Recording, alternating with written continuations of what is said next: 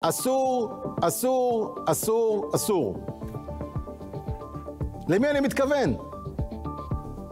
צדקתם, יועמ"שית. אסור, אסור, אסור, אסור. אסור כלום. משמר לאומי, גם אסור. לשמור על הביטחון שלכם, גם אסור. הכל אסור אצלה. הכל אסור. אבל אתם יודעים מה מעניין? גם בממשלה הקודמת, הרי גדעון סער הביא אותה, היא לא אמרה להם מותר. איזה קטע? היא לא אמרה להם מותר. למה היא לא אמרה? כי היא לא אמרה כלום.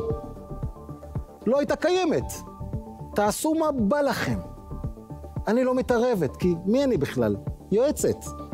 הגיע ימין, עכשיו אני קובעת. אסור, אסור, אסור. אבל זה מחזיר אותי אחורנית. לדגים הפראיירים, שלא ביום הראשון באו, כמו שהבטיחו כאן באולפן, זה לא הרי רצון שלנו, זה לא העניין שלנו, אנחנו כמצביעים, בוחרים, כל אחד מה שהוא רוצה, כן? אבל הבטחתם כאן באולפן, איך שאתם תיכנסו, הופ, יועמ"שית. מחליפים, מביאים יועץ שמתאים לנו.